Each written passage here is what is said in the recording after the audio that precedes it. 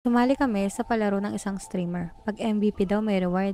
Testing natin kung pwede ng pang custom game yung udet ko. So, ang kasama ko ay si Patrick, si Errol, si Yanix, and si Barry. Aggressive yung kalaban namin nung una. Na-invade pa nga yung bilo ni Errol eh. Muntik na rin ako mamatay kaya tamang uwi talaga. Baka namin patayin yung bot. Buti na lang pumunta na rin dito yung mid. Hindi na kami nahirapan. Nasulit ko yung ulti ko. Baka makasalubong ko rin sa Cyclops. So ito, inahabol na nila yung nasa top. Nice. Hinabanatan na nila. Push, push, push. Siyempre, backup tayo. Ito guys, nakita ko yung Cyclops. Parang di siya gumagalaw.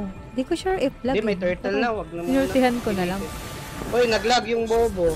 Uy, go! Uy, nice shot! Ay, go, Ogi! Ito sa akin, magbenta ka, JD. Nice.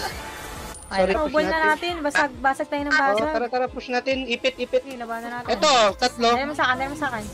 Gagi na cancel. Walang patay sa akin. Sabay lahat, no? Yun, pwede natin ito assuman. Ito po. Pasok ako ng maganda. Ito.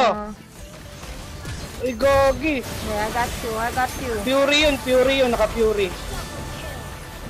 Nice, ka pa, Madam. Maano ka pa. nice G, nice G.